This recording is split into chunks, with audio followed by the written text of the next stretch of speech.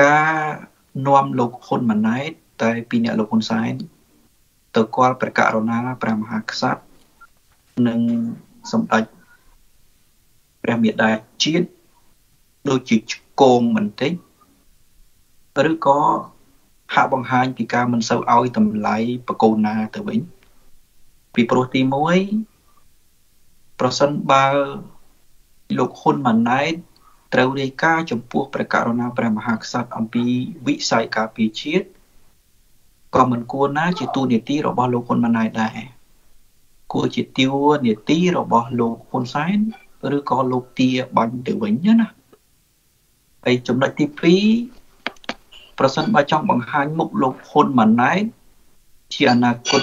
បេក្ខជននាយករដ្ឋមន្ត្រីរបស់គណៈបកប្រជាជនកម្ពុជា ក៏ដូចជាឆ្កងច្រើនណាស់ទៅហើយហើយនឹងមិនសូវឲ្យតម្លៃព្រះករុណាព្រះមហាក្សត្រពីព្រោះតែ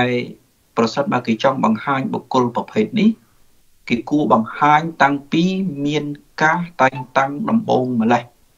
ពីព្រោះព្រះករុណាព្រះមហាក្សត្រគឺជានិមិត្តរូបជាតិជាប្រមុខរដ្ឋដូច្នេះគួរតែផ្ដល់តម្លៃថ្វាយព្រះអង្គណែនាំប្រាប់ព្រះអង្គតាំងពីដំបូងក៏ប៉ុន្តែ លោកហ៊ុនសែនបែរទៅជាណែនាំលោកហ៊ុនម៉ាណែតឲ្យមេដឹកនាំរដ្ឋប្រហារយោធាមានអង្គលៀងស្គាល់មុនឲ្យប្រមុខរដ្ឋវៀតណាមស្គាល់មុនមុននឹងដល់